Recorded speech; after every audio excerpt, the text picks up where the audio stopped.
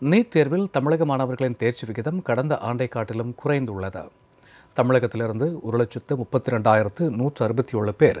NEET தேர்வு எழுதிய நிலையில் அதில் அறுபத்தி ஏழாயிரத்து எழுநூற்று எண்பத்தி ஏழு பேர் தேர்ச்சி பெற்றுள்ளனர்.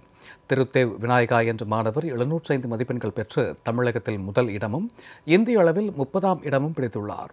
தேசிய அளவில் முதல் ஐம்பது இடங்களில் தமிழகத்தில் இருந்து இரண்டு மாணாக்கர்கள் மட்டுமே இடம்பெற்றுள்ளனர் நீட் தேர்வில் தமிழக மாணவர்களின் தேர்ச்சி விகிதம் கடந்த ஆண்டை காட்டிலும் குறைந்த போதிலும் தேர்வு எழுதிய மாணவர்களின் எண்ணிக்கை இந்த ஆண்டு அதிகம் என தெரிவிக்கப்பட்டுள்ளது